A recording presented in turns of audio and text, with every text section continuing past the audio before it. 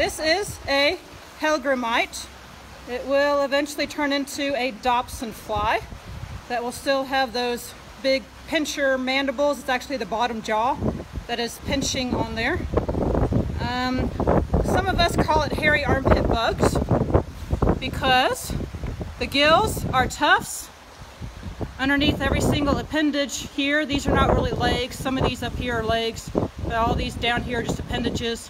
But sometimes you can kind of see the tufts underneath every single appendage is the gills, hence hairy armpit bug.